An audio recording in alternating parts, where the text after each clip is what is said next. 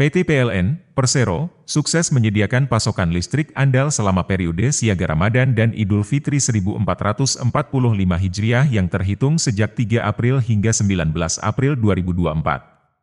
PLN telah mensiagakan personel sebanyak 4.782 personel pada 144 posko siaga di Jawa Timur.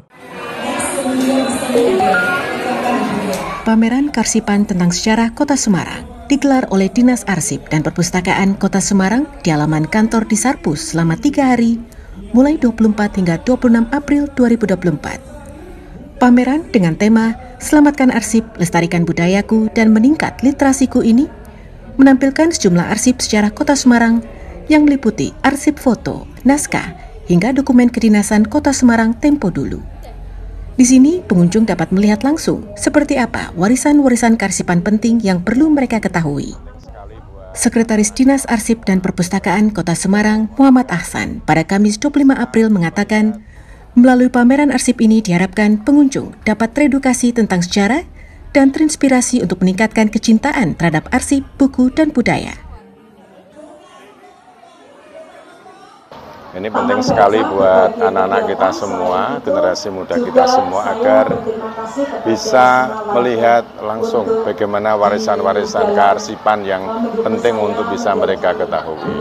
Yang itu jarang bisa mereka temukan di gadget, tapi memang betul-betul kita sajikan di pameran arsip Dinas Arsip Kota Semarang ini. Pengunjung yang sebagian besar adalah pelajar dan mahasiswa sangat antusias dengan pameran ini karena bermanfaat untuk menambah pengetahuan mereka. Uh, mungkin masyarakat jadi lebih tahu sejarah kota Semarang yang belum mereka tahu sebelumnya. Uh, tadi aku ke perpus terus lihat buku sama lihat gambar-gambar sejarah. Bagus bagus nggak? Bagus bisa nambah pengetahuan aku nanti di SMP ke depannya terus bisa kalau misalnya nanti ada pembelajaran tentang sejarah aku bisa nyertain yang ada di sini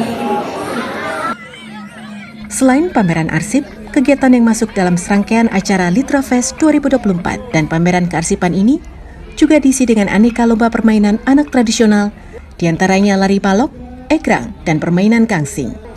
Dari Kota Semarang, Jawa Tengah, Suryo Wicaksono, Kantor Berita Antara, mewartakan.